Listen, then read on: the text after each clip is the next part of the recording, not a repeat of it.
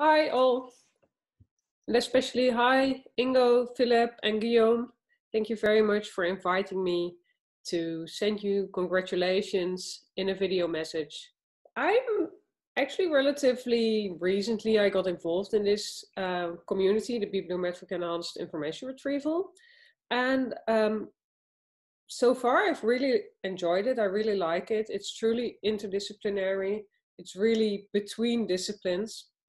And it's very active. So um, of course, this is the 10th workshop that has taken place in the BIR and BIRNDL series.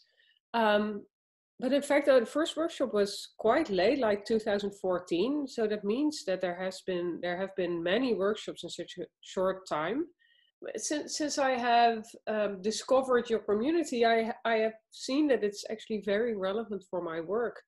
Um, so if you think about academic search, um, there is a very strong and important uh, network component in that type of information retrieval. Um, like collaboration networks, citation networks.